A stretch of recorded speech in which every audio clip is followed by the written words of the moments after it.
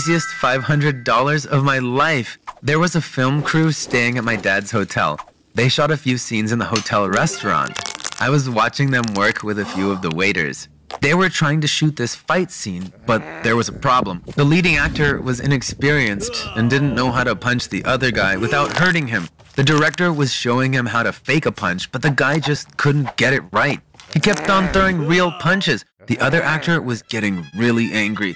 After the 10th take, one of the waiters pointed to me and said, Actually, if you get the boss's son to play him, your problem will be solved. When the director asked, What's so special about him? The waiter replied, You'll see it if you try him out. The director decided to go ahead and shoot the scene with me. The lead ah. actor kept doing the same thing. He was punching me really hard, but for me, that wasn't a problem at all. You know why? Because I don't feel pain.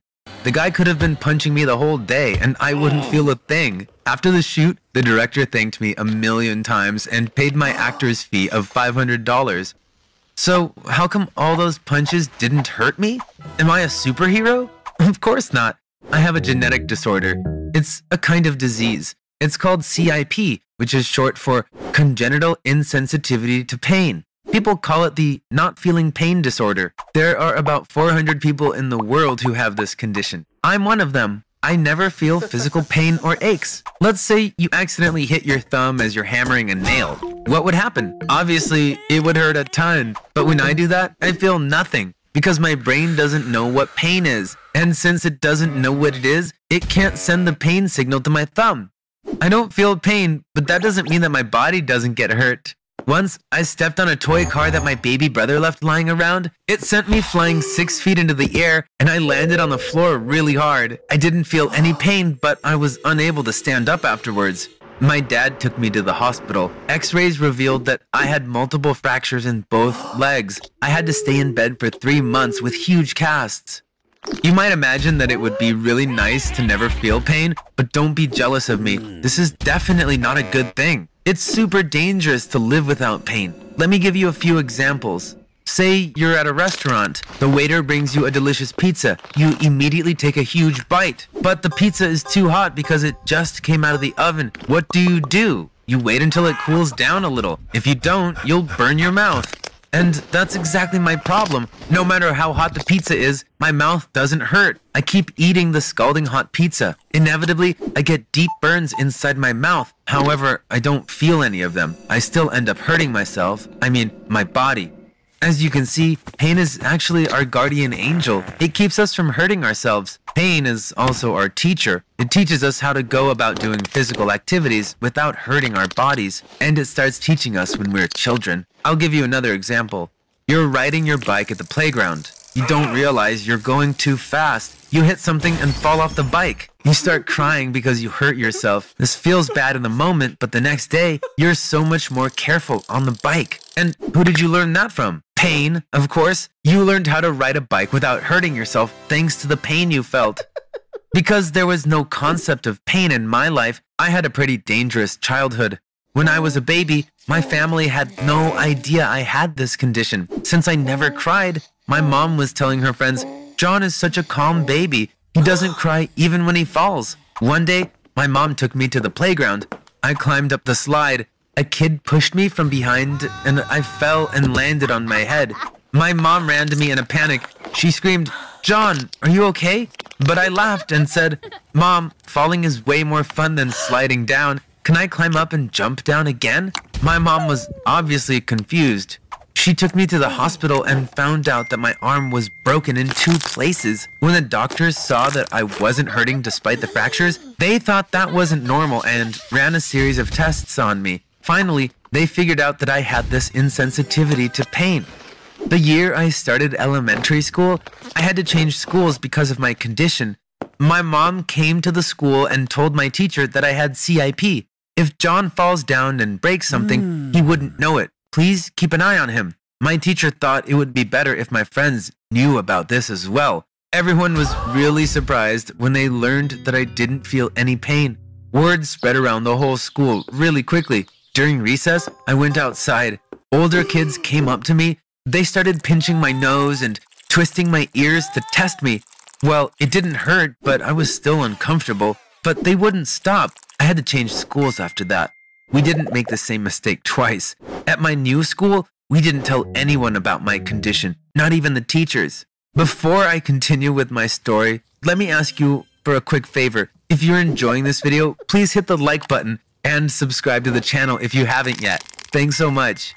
So far, I've told you only about the disadvantages of having this condition. Are there good sides to it? Of course, I never get headaches. If someone steps on my foot in the crowd, it doesn't hurt. Even if I work out for hours, I have zero muscle pain the next day. Once, when I was in junior high, we took a field trip to a farm. One of the staff members was giving us a tour of the place. When we came to the beehives, he wanted to show us a honeycomb full of honey, but as he was taking the honeycomb out of the hive, he dropped it and the bees got really mad. Suddenly, hundreds of bees attacked us. Kids started running away, but the bees stung everyone anyway. The farm suddenly looked like a battlefield.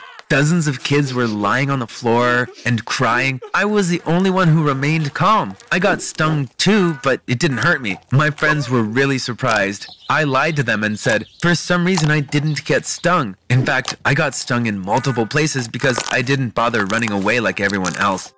I benefited from having CIP once again last year. I was playing frisbee in the park with a girl I have a crush on. A pit bull ran up to me from behind and bit me on my butt. If I had been a normal person, I would have been holding my butt, screaming at the top of my lungs and embarrassing myself in front of this girl. But when the dog bit, I felt nothing. When the pit bull sped off and disappeared, the girl ran up to me and asked, Are you okay? That was a really bad bite. I was so cool when I answered her, No, that was nothing, just a nip. It was obviously a serious bite that would have hurt anyone else. My crush was so impressed with me that day.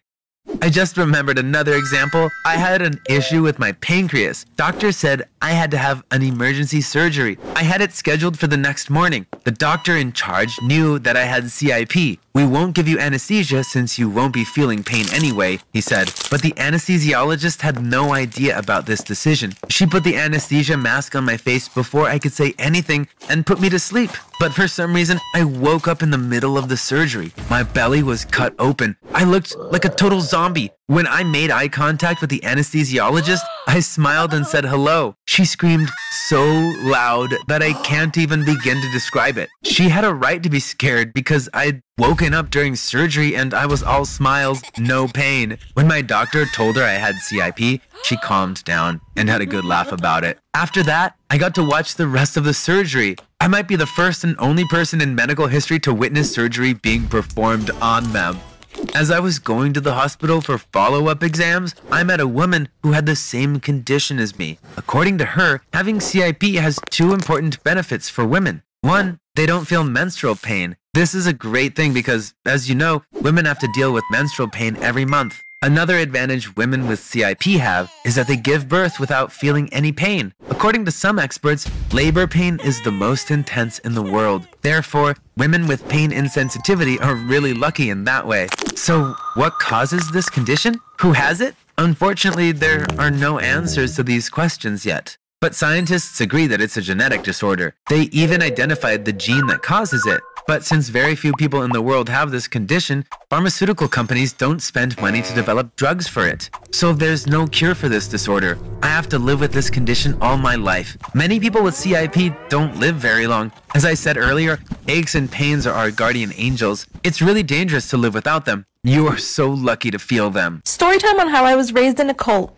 and I didn't know anything about it. Crazy as it sounds, yes, I left two years ago. And honestly, I'm still scared for my life. For personal reasons, I will not be saying what religion she grew up in. A little backstory I'm the oldest of three children. I have a younger sister and a younger brother. Well, let me just tell you, I even had to ask my dad when I could go pee. Because if I didn't, I would be disobeying him. And I would be going to hell. Well, we lived in a small town, and my brother, my sister, and I were homeschooled by my mother. Now, my father wasn't the leader of this cult, but he was one of the very, very strong believers. I wasn't allowed to wear makeup, wasn't allowed to wear jeans, or any type of pants. Now, this wasn't part of the cult, but I wasn't even allowed to talk to girls. I had to keep to myself. Go to part two. I was only allowed to talk to my siblings, my mom, and my dad. Well, what I didn't realize until I hit 16 was that my parents were teaching me to be a good wife. Because at that age, my dad would pick a husband for me. At 16. Now, that's when it hit me, and I said I need to escape from this. Now, I knew that was going to be very hard, but that just wasn't the life for me. And it's really sad that I didn't realize sooner. Well, one night my dad was going to a meeting, and that's the night that I decided to escape.